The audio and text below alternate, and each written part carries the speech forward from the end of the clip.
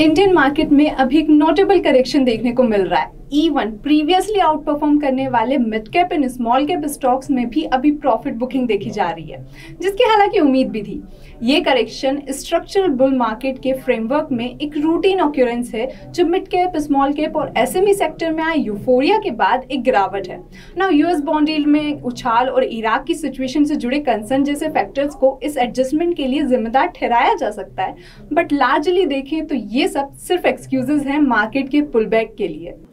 Actually market pre election rally के पहले हल्का हो रहा है।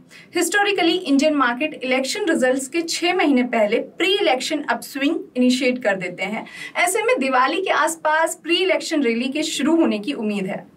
मार्केट बिहेवियर की बात करें तो अभी और करेक्शन देखा जा सकता है, जिसमें निफ्टी 18700 के अराउंड अपने 200 डीएमए को टेस्ट कर सकता है और ये एक बड़ी अपॉर्चुनिटी हो सकती है उन इन्वेस्टर्स के लिए जो प्री इलेक्शन रैली में पार्टिसिपेट करना चाह रहे हैं। ऐसे में इन्वेस्टर्स क्या करें?